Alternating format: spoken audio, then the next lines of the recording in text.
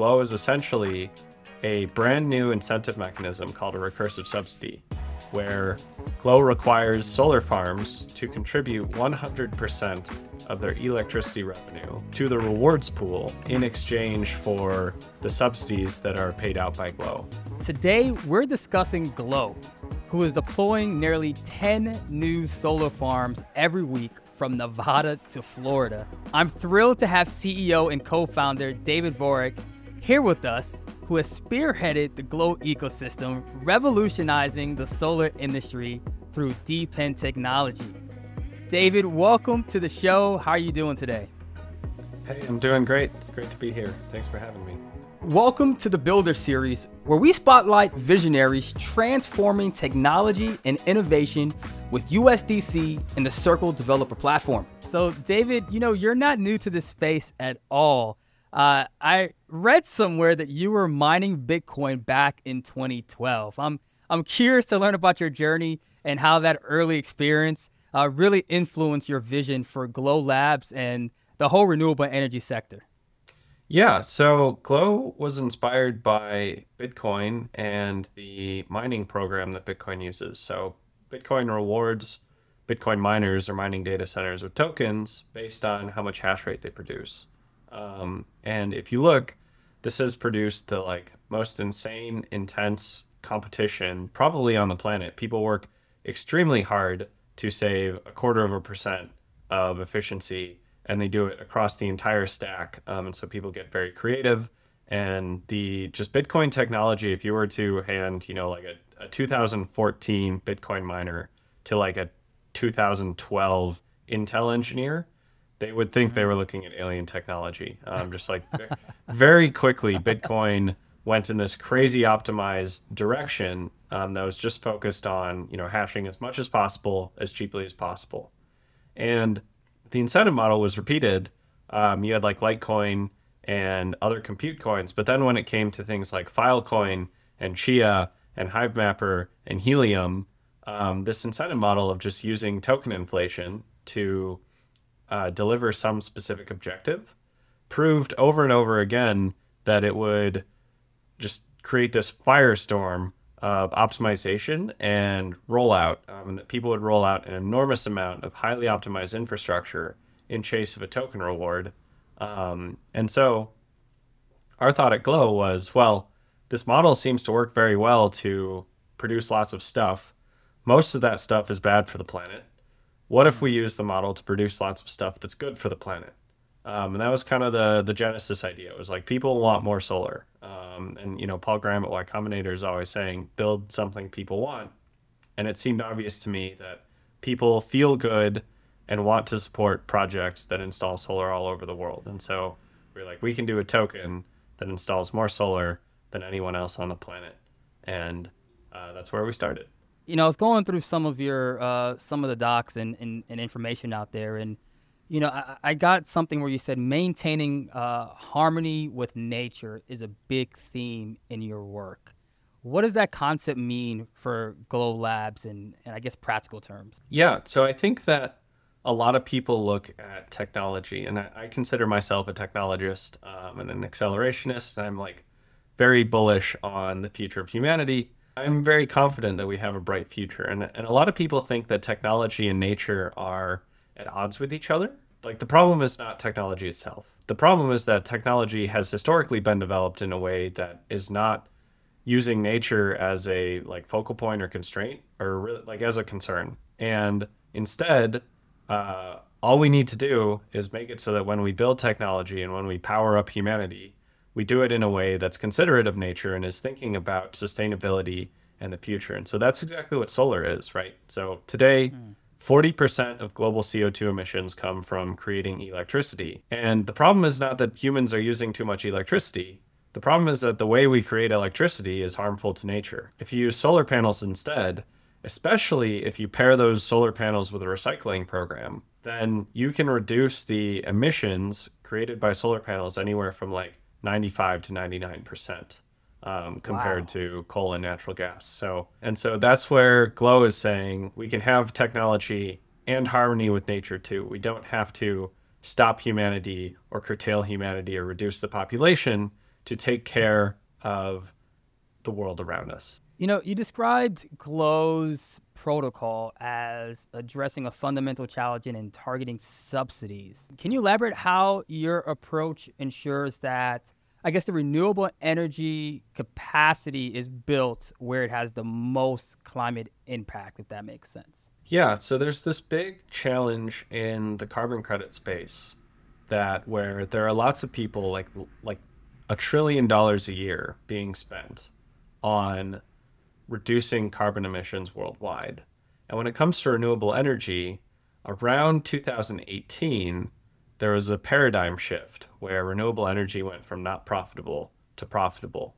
And mm. that paradigm shift meant that after 2018, a lot of the subsidies that are given to renewable energy programs are just lining the pockets of people who would build solar farms anyway because those solar farms would make money anyway. And so it feels very wasteful to someone who's, you know, spending their hard-earned like if you donate $1000 to a carbon credit program and then you find out that $1000 ended up in the pocket of a solar farm owner who also owns a yacht. You don't feel great about having spent that $1000. You're like, "Wait, wait a minute. i I'm supposed to be changing the world. This guy seems like he's doing just fine. Why does he need my 1000 bucks?" And so what Glow does is it very carefully steers that thousand dollars towards solar projects.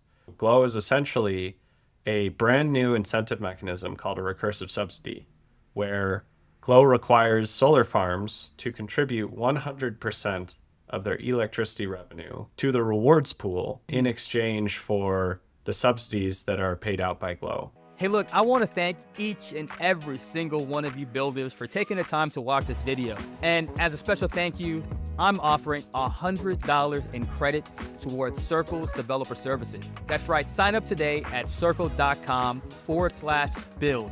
That's B U I L D to automatically receive yours. How far can that go? Well, look, that's enough for about one month of managing uh, 2,000 active wallets, or it could go towards 200,000 smart contract platform API calls, or you know what? You can even use those to sponsor network fees. Make sure to go ahead and sign up right now. That's circle.com forward slash build to receive your $100 in credits now. You know, so I was going over something and it, it was the self selecting mechanism can you just how does how does what is that exactly? How does that work? How does that work? Glow uses something called a recursive competitive subsidy, um, and so we already talked about the recursive part, which is that right. uh, solar farms have to contribute their revenue to the rewards pool. And like another way to think about that, Glow Glow can be thought of like a company or a project that has donated money to it. It uses that money to construct a solar farm then that solar farm uses all of its electricity revenue to construct another solar farm, and so on and so forth. And so that's the recursive part. The competitive part is the Bitcoin style competition. So what Glow does is it says there's $10 million available for solar farms. And we will distribute that $10 million based on the amount of solar that gets built, or in, in this case, like the amount of carbon credits that get built. Competitors are essentially Bitcoin style working against each other to bring the price down or to produce as much solar as possible. And that's going to dilute the rewards until the rewards are spread so thin that only the most efficient and most cost effective solar farms possible are able to be constructed on Glow. And so the recursive subsidy part essentially, you know, it makes sure that that the revenue is coming back. Any revenue that's earned by a solar farm constructed by Glow comes back to Glow and can be used for more solar farms. And the competitive part ensures that only the cheapest solar farms in the entire country are able to be built using glow subsidies because the more expensive farms just won't they won't get enough money back because that money has been spread between too many solar farms. It's spread too thin for inefficient solar farms to uh, join. You mentioned bitcoin a few times in the conversation and kind of the the comparisons. And i remember in our first call together you describe Glow as a virtual factory. Uh, can you explain and go a little bit deeper into uh, what that means and, and how it mirrors the, the Bitcoin mining model? Yeah, so uh, I've started to think Glow as a virtual factory that constructs real solar farms. And one way to look at it is like me and a couple of devs, we sat down, we wrote a bunch of code, and then solar farms started popping up all over the United States, which is just like kind of crazy when you think about it. But in the same token, uh, you know, Bitcoin is also a virtual factory that constructs not solar farms but mining data centers. Um, and so these incentive programs, they're like they're moving bits and bytes around and they're just assigning tokens to people. But then people will do things in the real world to earn those tokens. Um, and so essentially, Glow allows people to earn tokens by requiring them to construct solar. Um, and I think that's an important distinction about the Glow protocol. It's not it's not a solar rewards program. So existing solar farms can't participate in Glow because the purpose of Glow is not to reward solar. The purpose of Glow is to construct brand new solar farms. Um, and so when we say it's a factory, we really mean it as opposed to calling Glow a rewards program. You, you talk about scalability, and, and one thing that uh, I hear a lot about right now is the impact of AI and streaming. And I mean, we are de- we're definitely you know going into a world where it seems like the need for energy is increasing at a pace um, that I'm sure few could have anticipated. How do you feel that demand will either help the growth of Glow or potentially even you know hurt or, or, or, create challenges to the growth of Glow? I'm sure curious about your feedback on that or your thoughts on that. Yeah, so I think Glow sees it as an opportunity, um, and okay. essentially you have two two dueling forces at the same time. One is with the advent of AI and other recent technology, the demand for energy is going through the roof, and massive massive power plants and solar farms are being built that they don't offset the existing grid. They exist just to power AI data centers, um, and it's it's quite baffling to see the sheer amount of energy being put down. Um, and then the other force is that the world is saying, you know, at a political level, we don't want to see carbon emissions anymore. And so, what does that mm-hmm. mean? Well, that means that as these data centers go up and as they decide they want to use more electricity and they're willing to spend money producing more electricity, um, they have to go to a source where that electricity is clean. Um, and so, if Glow is the biggest game in town, if Glow is the one place that you can get reliable, clean energy, then all these AI companies will come to Glow to get their energy. Um, and so, essentially, Glow sees it as a challenge of like, Glow just has to grow fast enough that it's growing faster than AI. And I, I actually believe that that is going to be possible. Um, that Glow will will be able to both accommodate all of the new demand for electricity, as well as backfill all of the old electricity that's being produced in a dirty way. And we will be able to make the whole world green while simultaneously doubling or quadrupling the world's electricity production.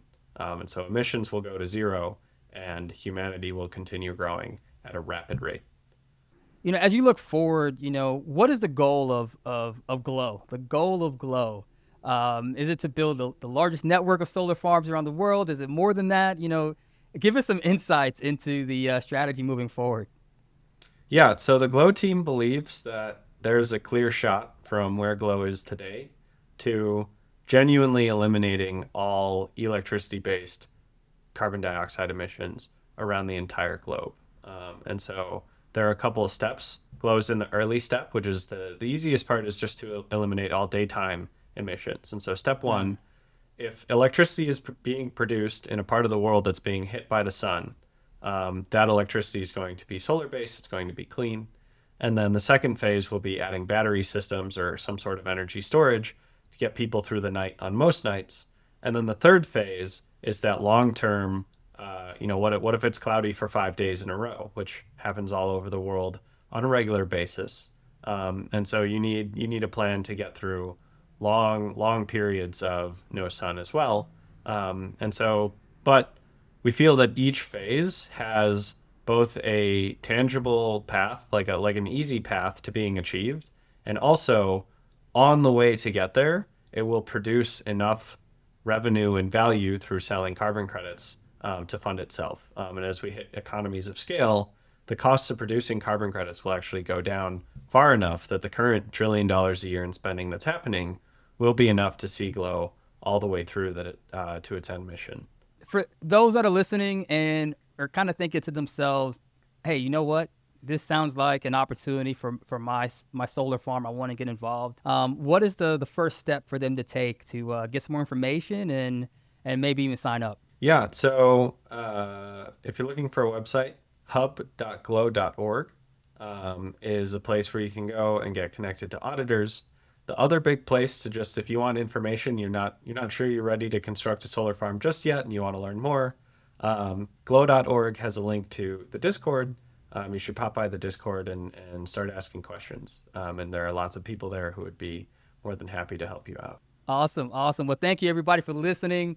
Um, continue to follow. We'll put all the information uh, for Glow in the description. Uh, take a look, look into it. If you got questions, feedback, um, you wanna, you have any questions or whatnot, definitely put it into the comments as well. We we really appreciate those sort of uh, commentary. So thank you all for for listening in, and and thank you again for joining us. Take care. Thanks for joining us for this episode of the Circle Builder series. Check out the show notes for links to any resources mentioned in today's show. And if you enjoyed the show, please leave us a five star review and hit subscribe so you never miss an episode.